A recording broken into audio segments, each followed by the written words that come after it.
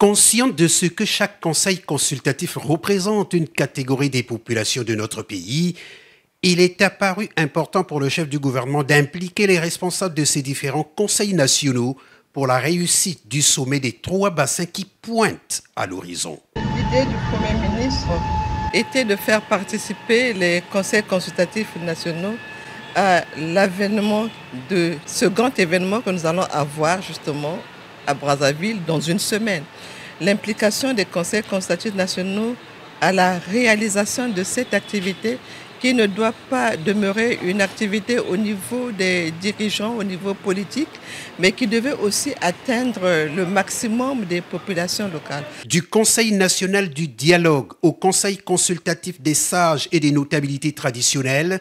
de la société civile et des organisations non gouvernementales, de la jeunesse, de la femme et des personnes vivant avec handicap, tous étaient là autour du Premier ministre pour partager leurs réflexions sur ce sujet